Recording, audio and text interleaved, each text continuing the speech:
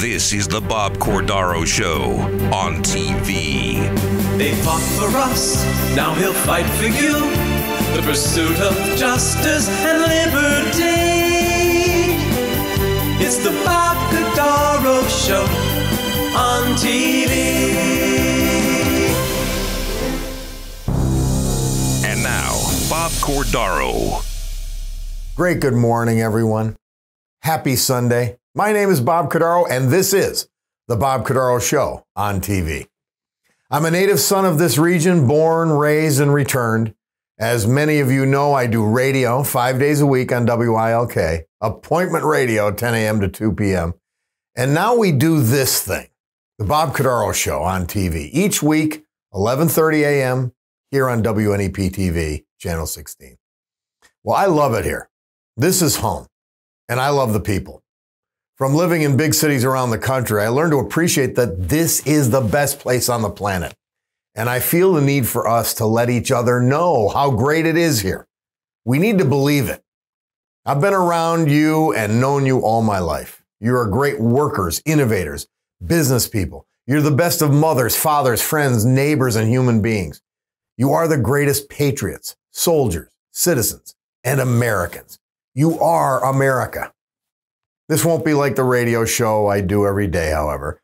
On WILK, we do a lot of politics, a lot of criticism, and a lot of opinions. For this TV show, we want to accentuate the positive, to feature those who have achieved and have or want connections to this region. So it's a whole different ballgame, the Bob Cordaro Show on TV. Today, we switch it up a bit. There will be no separate health segment. Today, Dr. Brian France and I will talk to Sister Maryalice Jacquinot, President and CEO of St. Joseph Center. As a regular part of this program, we occasionally feature, as our Power Brunch Players of the Week, people who make healthcare work, who provide essential services to the community and do it for the entire show.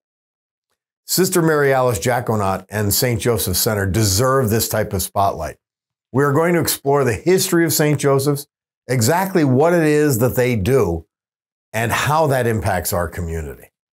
My own family has a long and deep history with St. Joseph. My nephew Anthony, my brother Ron's firstborn, who developed incredible disabilities due to meningitis after birth, spent three years at St. Joe's. His profound illness is being cared for by the loving staff there. Since then, Ron has chaired an annual golf tournament which benefits St. Joseph's. And we've become intimately familiar with this amazing facility. So, with the help of God, our families, our communities, and each other's, let us begin. And now, the Sunday Brunch Power Player of the Week on the Bob Cordaro Show. We're joined by Sister Maryalice Jacquinot, and she is the president and CEO of St. Joseph Center. One of the, I, to me, one of the most vital institutions that this area has, one of the most special places, maybe on earth. I, I, I, don't think I exaggerate there. Sister, first of all, welcome. Thank you. I'm very happy to be here. So tell us the history. Well, I, I want to go one step back. Tell us about yourself. Okay. How does Sister Jacquinot get here? Okay, sure. Well, thank you. Uh, I'm always happy to talk about St. Joseph Center, so we'll spend more time on that. But uh, with regard for, to myself, um, I'm originally from Scranton. My parents, Marianne and Jerry Jacquinot, live in South Scranton, where I grew up. I attended public schools here. I went to Bishop Klonowski High School and Bishop Hannan High School, Marywood University, and throughout that time, I certainly felt the call to religious life. Uh, yeah. I was taught by the Sisters of the Immaculate Heart of Mary and sort of had an inkling that that might be um, the right vocation for me. So uh, I worked at Marywood a number of years and entered the community in 1994 mm. and uh, made my first vows in 1997. Wow. And I've had wonderful ministry opportunities and somewhat uniquely, all of my years as a IHM sister have been in Lackawanna County. I spent time at Marian Community Hospital in Carbondale and at Marywood University and Friends of the Poor and now at St. Joseph Center. Wow.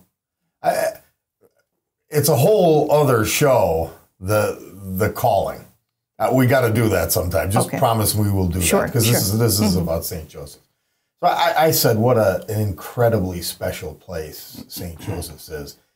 It's also been around for a long time. Tell us a little bit about the, the history.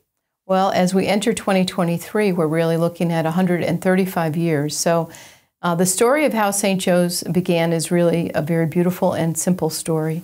Um, you know, that idea of what happens when caring people get together and try and, and solve a problem.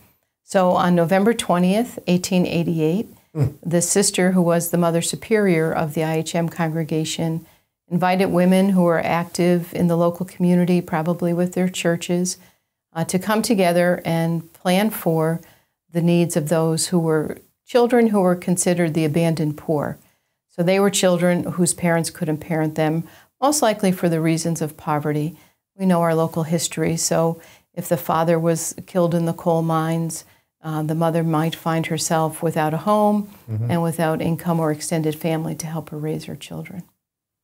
That, that long, that, that's, that's, that's remarkable. They saw the need, the sisters saw the need, they stepped up, they raised money in the community, obviously the the old grand dame of the building over there is a Brian had told me is a 1900 structure. Right.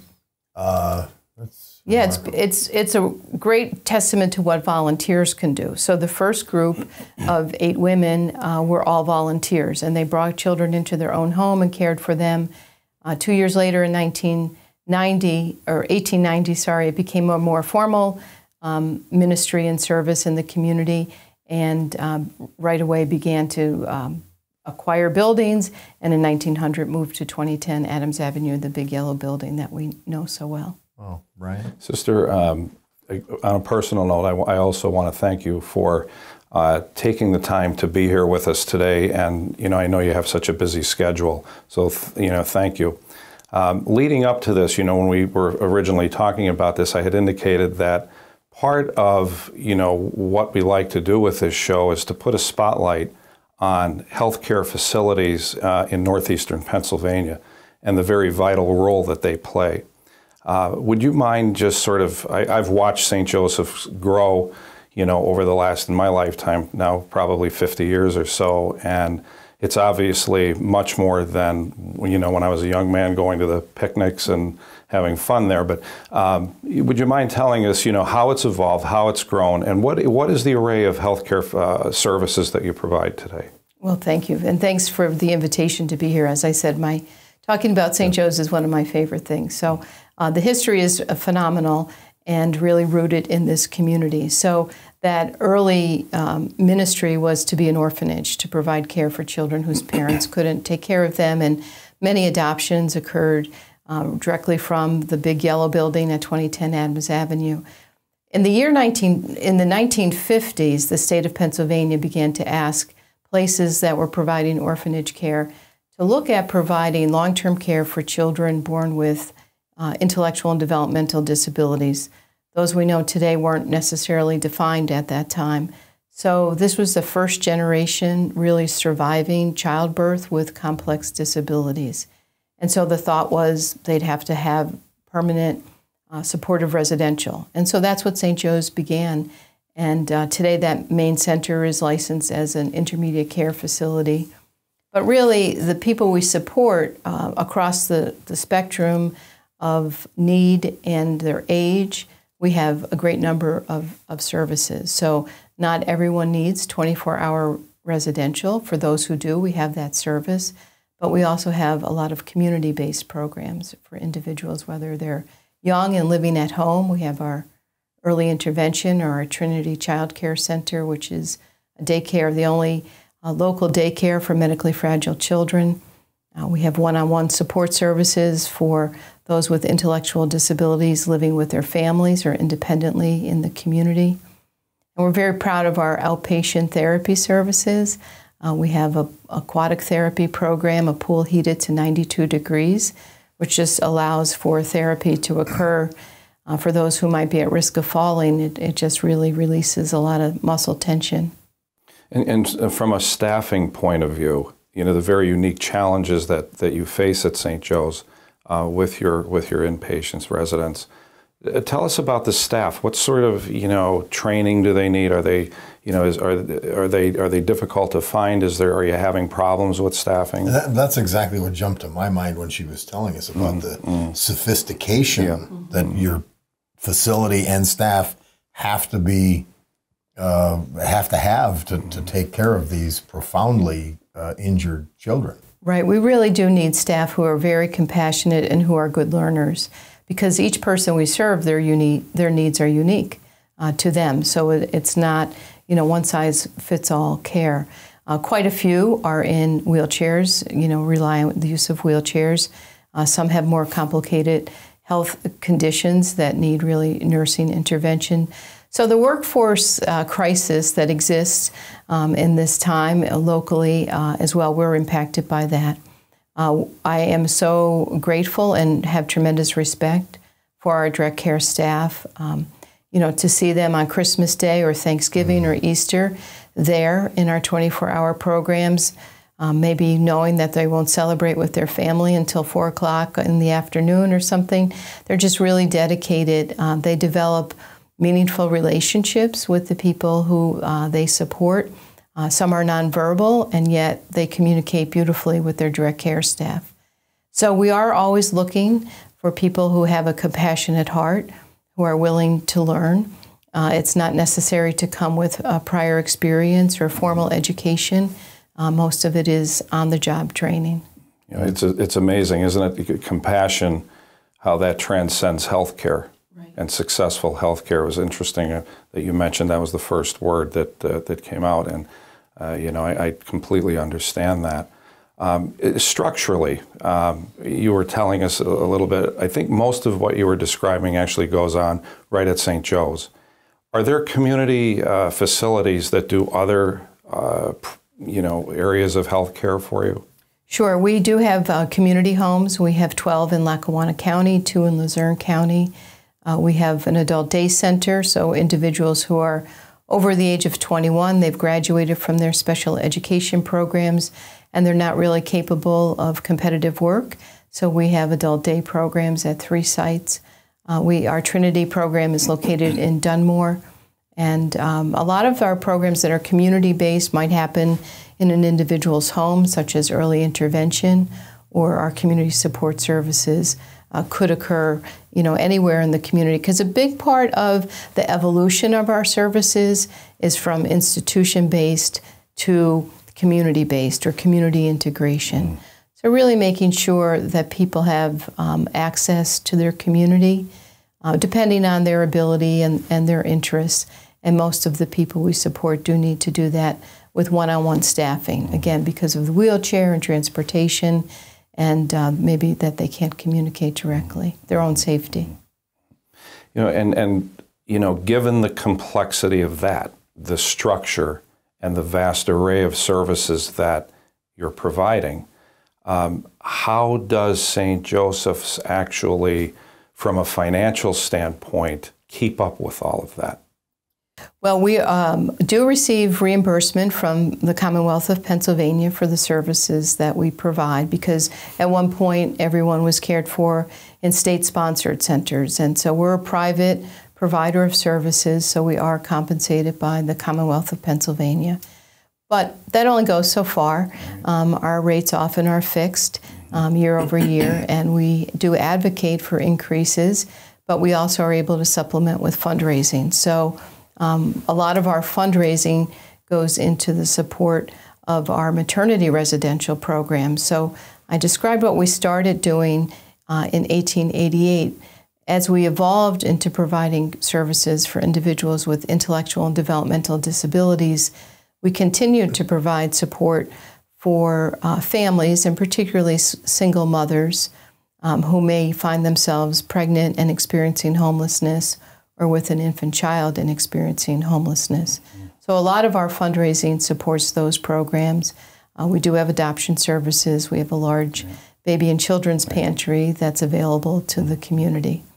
So fundraising is absolutely an essential mm. part of what we do at St. Joseph Center. Because that's the state budget, not your budget. That's correct. that's right. That's right. And we're, we're very fortunate because we've been in this community so long. We do receive the support um, you know, I, I, can't count the number of donors, but from those who can give, you know, um, a small amount to those who can give large, and uh, everyone then feels a sense of ownership or pride. Right. In the work that we do at St. Joe's. You know, uh, tell us, uh, as I understand that you have, there's a foundation.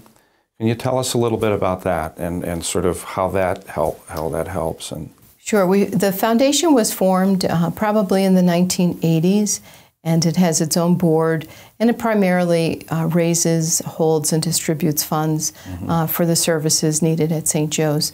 That really allows us uh, to renovate areas. Uh, it takes a long time and a lot of mm-hmm. money, as you know, to maybe renovate a room in your own home. Well, imagine renovating all the bedrooms I've just named right. and all of, all of the kitchens and um, all the physical properties that we have. Uh, so fundraising certainly helps with that. Anytime we can apply for a grant from a foundation, they might ask for a local match. So our fundraising would support that. Mm-hmm. Uh, that's another aspect of the foundation is, is grant writing and um, receiving memorial donations uh, at the time of somebody's passing. The family might give uh, gifts to St. Joe's. Uh, many people, fortunately, do remember us in their uh, legacy and their bequests, uh, which helps us uh, quite a bit. Sister, uh, how many, just to get a concept of the scope of it, it's a big facility, just the one, and then you mentioned what, 11 or 13 facilities? 14 group homes. Yeah. So, how, what's, how many people work for you? Well, we should have 650. Uh, we're probably in and around 550. Um, that has, you know, part of the difficulty of uh, retention um, that has occurred uh, really since the pandemic. The nature of the work uh, became a little bit difficult for people. Um, again, I'm grateful for the staff we have, so I don't only want to speak about the staff yeah. that we need because we do have uh, phenomenal staff. What's the financial scope of the operation? I mean, it's not a small operation in any way, shape, or form. No, it's it's around 40 million today. So it's uh, again a, a, lot of uh, services, a lot of different services. You know, our outpatient services, um, as well as our residential and community based. Whenever you have a service that's going 24 hours a day, and we have many of them, you need a lot more staff. And, and of course, uh, our number one expense would be wages and benefits. Uh, you had taken care of my nephew, uh, AJ Anthony, mm-hmm. and uh, I, I just saw firsthand.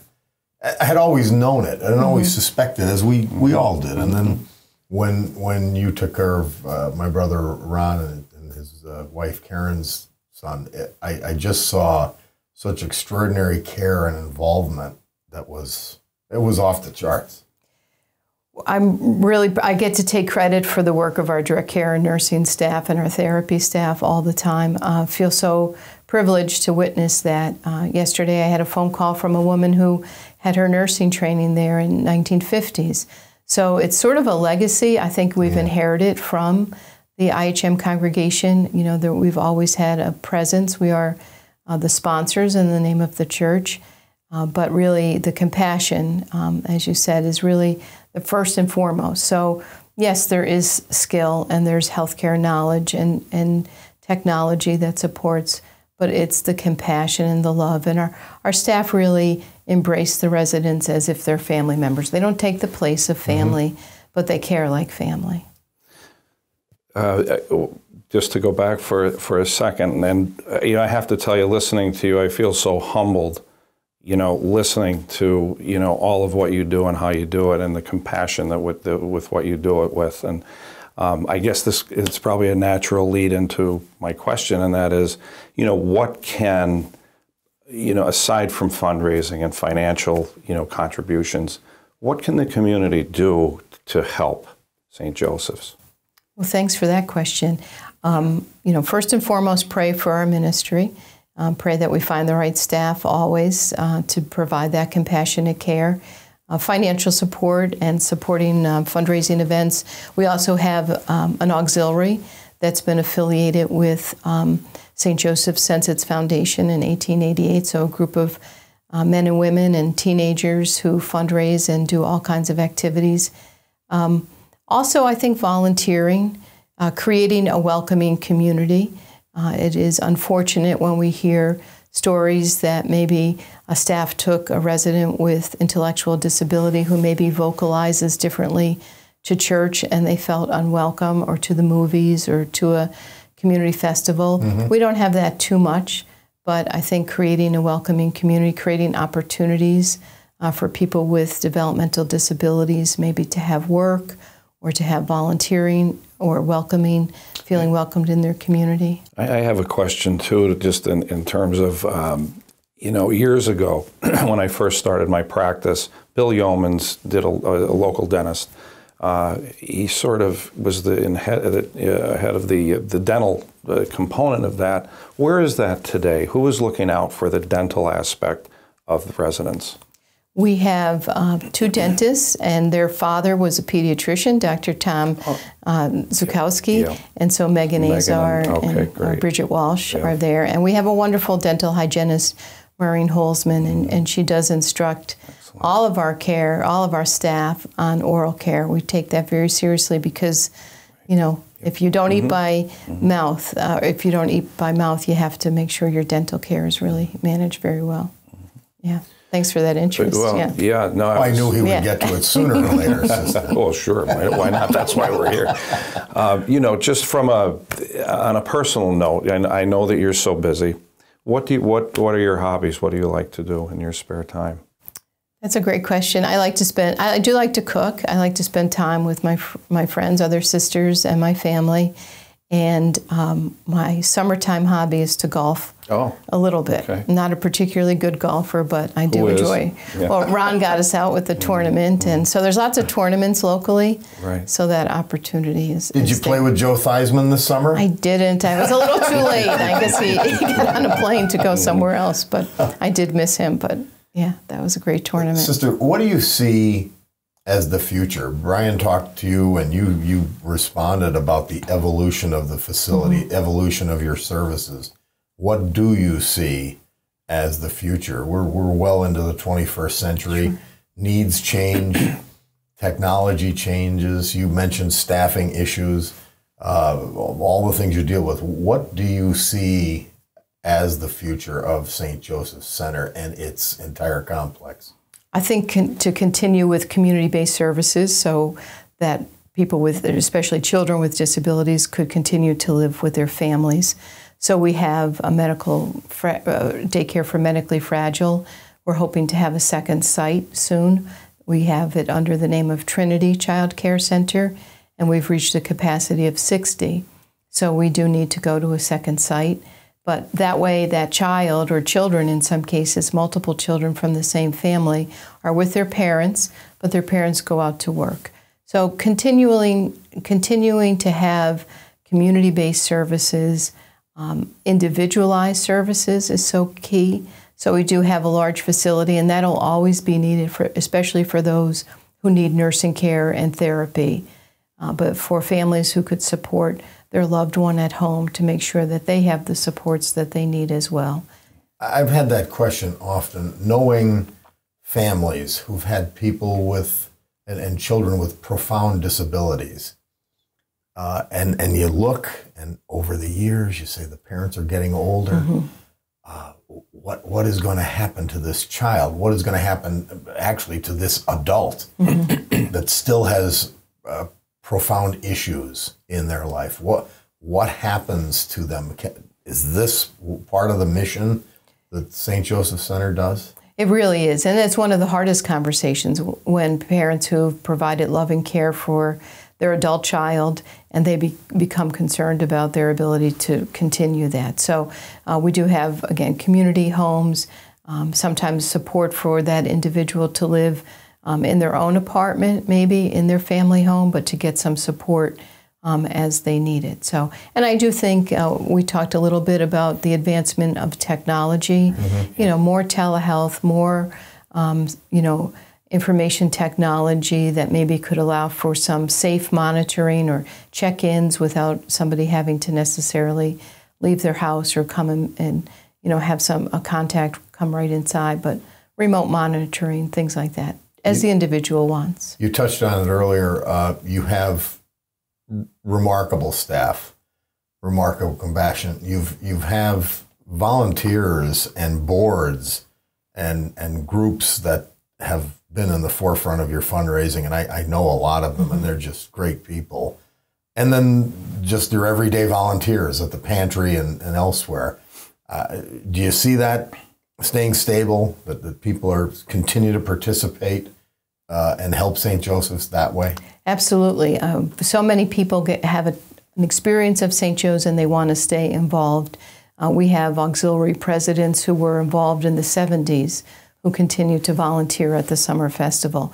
Uh, we have people who volunteer at our baby pantry, like yeah. your mother, and yeah. maybe they're not active um, day to day, but they continue to support that work. So uh, we are really blessed with a lot of advocates in the community, and we use that word in a lot of different ways, uh, but people who really champion the mission of St. Joe's, and um, we're, we're just really blessed. I, I do think the history and the mission of St. Joe's is really integrated into our community. It, it truly is. And sister, thank you so much.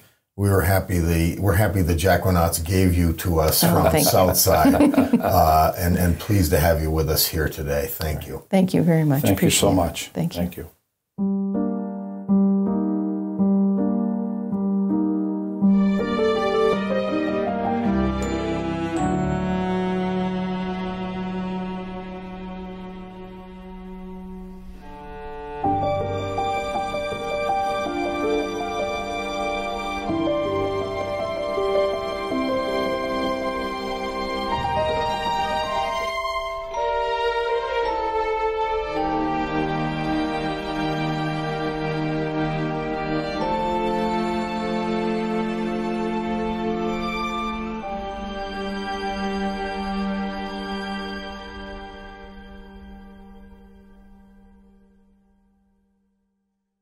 What a remarkable facility, remarkable story, remarkable woman.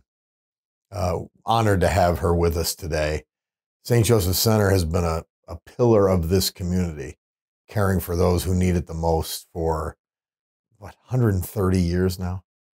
Uh, I, I, get, uh, I don't know, I get touched every time I think of the place. I hope you do too. And I hope that some of you take this opportunity to step up and help St. Joseph Center. It performs an incredibly valuable mission. Well, that's it for another edition of the Bob Cordaro Show on TV. So happy you're with us. We'll be back next Sunday, 11:30 a.m. on WNEP TV, the Bob Cordaro Show on TV. Thanks for being part of the program. You've got an appointment every Sunday morning at 11:30 right here on WNEP TV, The Bob Cordaro Show on TV.